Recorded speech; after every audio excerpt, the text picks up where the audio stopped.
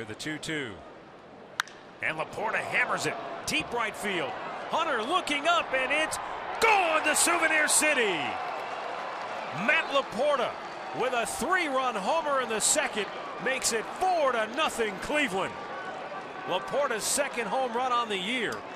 And the Angels searching for answers with their pitching staff, not getting many answers from Tyler Chatwood tonight as the Indians jump on him early.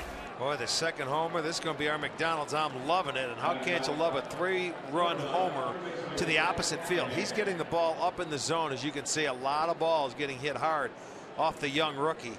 And it goes just over the, the line up there into the seats. It's a 4 0 Indian lead. And now with three extra base hits out of their four.